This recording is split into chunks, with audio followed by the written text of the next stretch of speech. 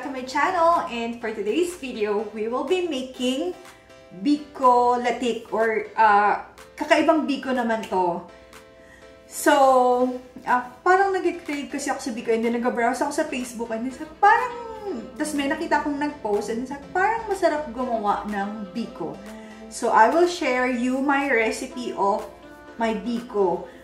Um, masarap siya. May sticky caramel siya sa taas. So, perfect siya. And pwede nyo rin siyang ipang-benta or ipang-gift this coming Christmas. So, or especially this coming New Year.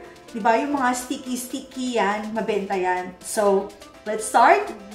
For the ingredients, we will be needing 2 cups of glutinous rice, 1 can of coconut milk, half a cup of water, 1 8 teaspoon of salt. So ngayon guys, uh, hinugasan ko na yung ating uh, glutinous uh, rice. And then ngayon, isasaing natin siya sa rice cooker. Yan. So ilalagay natin yung ating malinis na um, sweet rice or yung uh, glutinous rice.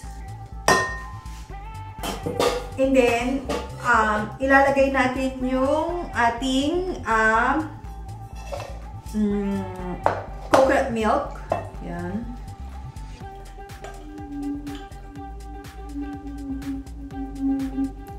And then, ilalagay din natin yung ating water. Yan. And then, haluin muna natin. Yan. And then, i- lulutuin natin siya sa rice cooker hanggang sa maluto siya. And then, uh, after nito is gagawin natin yung uh, caramel sauce sa taas. So, let's start! So, ayan guys, uh, niluluto na natin yung ating uh, malagkit rice. So, let's wait around 30 minutes and uh, tutunog naman siya if luto na yung rice. So, let's go! So for the latik or the caramel sauce, we will be needing 2 cups of dark brown sugar, 1 can of coconut milk, and 1 teaspoon of vanilla extract. So now guys, ilalagay na natin yung ating coconut uh, cream or coconut milk. And then ilalagay na din natin yung ating sugar. Iintayin lang natin siyang uh, mag-caramelize and then uh, yung sobrang thick and then tsaka natin siya papatayin later. Pero siguro mga around 30 minutes to or 20 minutes, hintayin natin siyang mag-thicken ng sobra para masaya. Para masarap. Masaya. Okay? Or ita time-lapse ko kayo guys para makita nyo ang process nito.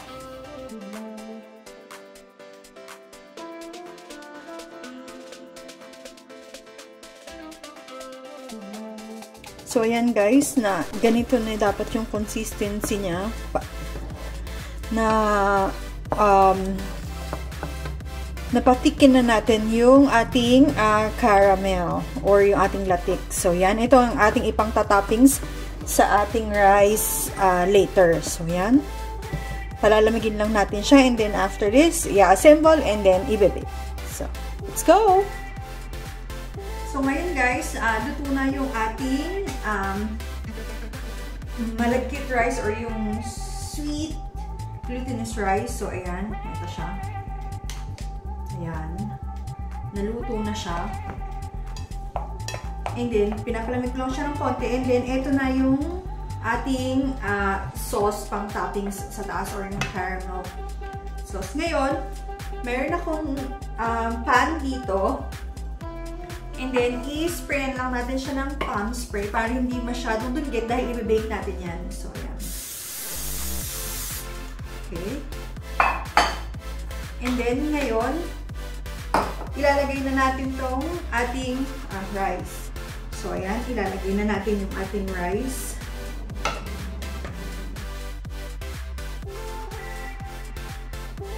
Limit lang, konti lang yung nibuto ko. Pero, pwede na yan.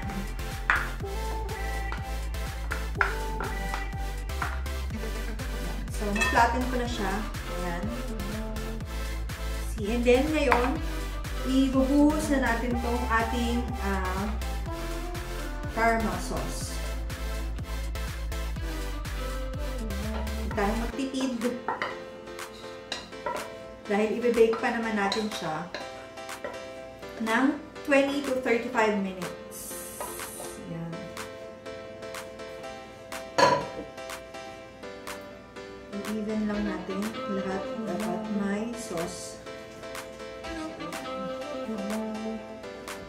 Ayan. So, ayan guys, nakita nyo? Ayan. Pwede nyo, or gusto nyo din naman gawin, if gusto nyo na brown yung rice nyo is yung half nung, um, nung syrup or yung caramel sauce, uh, ihalo nyo dun sa malagkit rice and then yung half nun ibang tatappings. Ayan. Ako, gusto ko yung medyo yung rice muna, yung medyo uh, masarap yung lasang suman na rice and then pagkagat ko nung uh, matamis, doon maghahalo na yung lasa. So, ayan.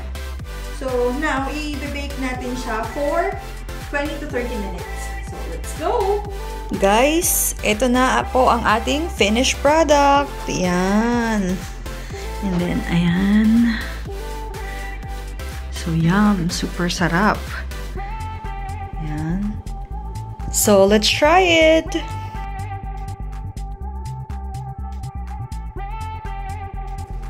So, ngayon guys, ito na. na luto na yung ating biko sa latik and uh, napa-cool down ko na siya or napalamig ko na siya. And then, ngayon, ito try natin. So, yan. Magkat tayo.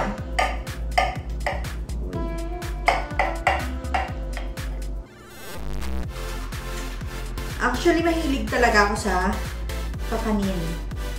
Ay, ayan. So, hindi pa kasi siya masyadong malamig yung sobrang lamig. Pero, mainit-init pa siya actually. So, pwede na yan. So, ngayon, i... Ay, so ngayon guys, yun nyo, yung rice niya, yung pinaka-sweet rice niya kasi, ginawa ko siyang parang suman. Tikman natin. Uy! Ito yung gusto kong ano, biko. Ito walang, walang kenit or walang chika to ha. Kasi, yung pinakabigas niya, or yung pinaka malagkit niya is, niluto muna sa, um, sa gata, and then nilagyan ng konting salt para maglasa siyang parang suman. Ganon yung texture niya. And then, ang nagpatamis lang sa kanya is yung ating uh, sugar and yung coconut milk. So, Sobrang sarap niya talaga. Ito walang biro.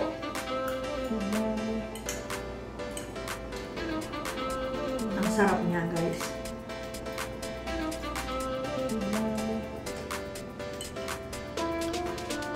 And sa akin naman, di ba, makikita niyo naman pag talagang masarap kasi sunod-sunod yung subo ko at saka uh, nauubos ko yung kinuha ko talaga.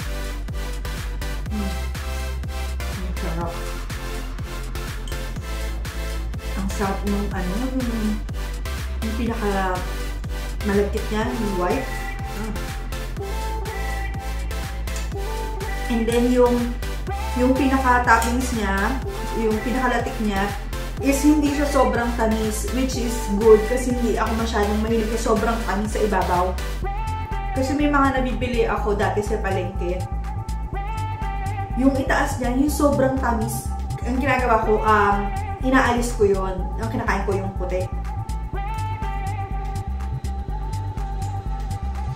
And ito, masarap yung puti. Yung pinaka bigas niya dahil niluto natin siya sa gata. Sobrang sarap.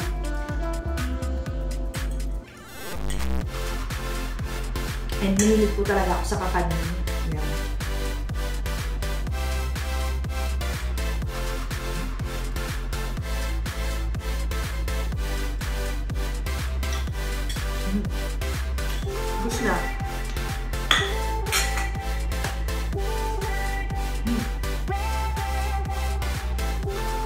So that's it for today's video guys. Please like, share, subscribe if you haven't yet. So, intay tayo. Um, uh, yung mga susunod na uploads ko is uh, mga pang-negosyo this coming Christmas. So, see you in my next vlog. Bye!